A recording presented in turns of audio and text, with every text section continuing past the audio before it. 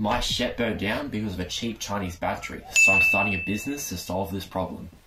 This is day three. So I've decided what is going to be powering my invention, drill batteries, because they're incredibly safe, and I've never heard of any of them ever blowing up before. But now I need to figure out what they're going to power, an e-bike, an e-scooter, or an electric skateboard. Okay, an e-bike, big and bulky, and it's very hard to ship.